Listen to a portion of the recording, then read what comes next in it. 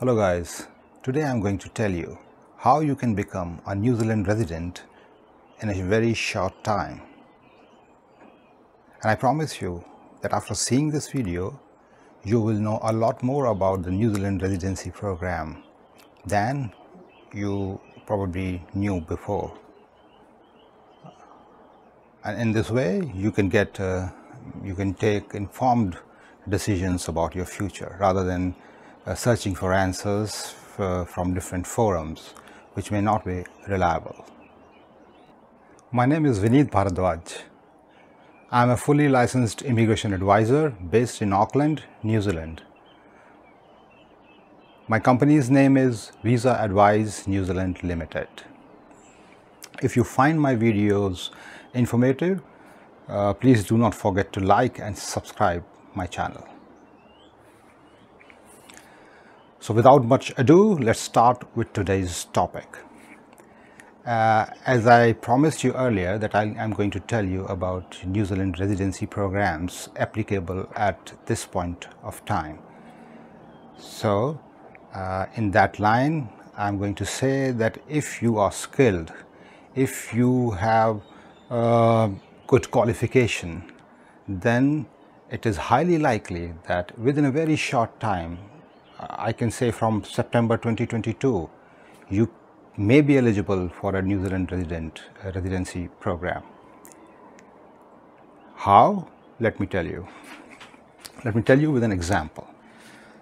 Suppose uh, you are currently working as a civil engineer or you have a qualification of uh, civil engineering in civil engineering which is uh, meeting the New Zealand qualifications framework at level 8.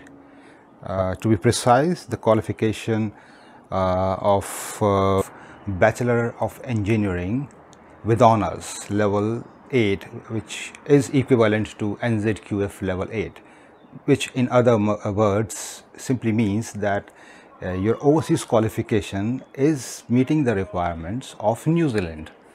Uh, if that is the case, then you are straight away eligible to apply for a work visa here. And uh, if you want to, for example, apply for a civil engineer job, which are in very high demand in New Zealand. So you can just go to seek.com or you can engage some uh, recruitment company or a career counselor. These uh, forums will enable you to find a suitable job. And once you get a suitable job, the next step would be just to apply for your accredited employer work visa and you can come here. After coming here, the third step would be just to apply for your residency. It's as simple as that. There are many jobs, uh, to be precise 85 ANZSCO roles which immigration has highlighted in the green list and some of which are construction product, project manager, project builder, quantity surveyor, chemical engineer, civil engineering technician, civil engineer, electrical engineer, electronics engineer. So there are many engineering fields which you can uh, look for. Geotechnical engineer, uh, telecommunications engineer, surgeons, urologists, uh, radiologists, medical lab, lab scientists, environmental research scientists, food technologists, multimedia specialists, software engineers. For the ICT roles, uh, there is an additional requirement that you must earn a specific salary, which you will uh, come to know when you apply. Then there is another pathway, which is work to residency pathway, in which uh, if you are falling under this uh, category, then you will get a work visa. You come here and you work for two years and then you can apply. Then you will become eligible for residency. So this is also a very good pathway and it is uh, very certain that you will be able to do that. Another pathway is uh, if you are earning twice the median wage then also you can apply for your residency after working for two years these are the three categories under which you can apply uh, for a resident visa.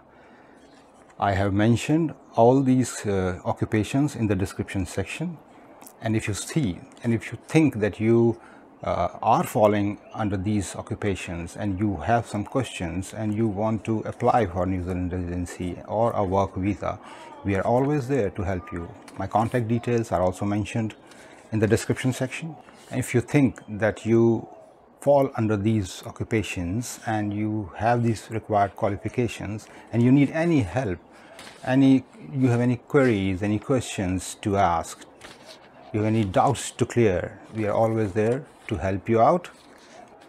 And for those who are not falling under these occupations and in these categories, uh, there is no need to be uh, disheartened because Immigration New Zealand is working on the skilled migrant category policy also.